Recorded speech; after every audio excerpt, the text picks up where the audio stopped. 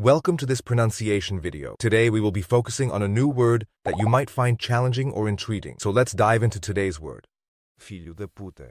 which means, A highly offensive term for someone regarded as a despicable person. let's say it all together. Filho da puta. Filho da puta. Filho da puta. One more time. Filho da puta. Filho da puta. Filho da puta.